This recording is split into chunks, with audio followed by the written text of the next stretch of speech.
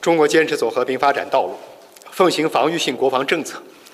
中国的发展是世界和平力量的增长。台湾是中国的一部分，台湾问题是中国内政。如何解决台湾问题是中国人自己的事，不容任何外部干涉。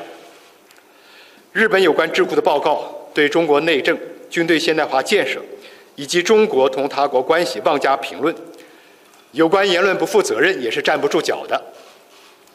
由于历史原因，日本的军事安全动向一直备受亚洲邻国和国际社会关注。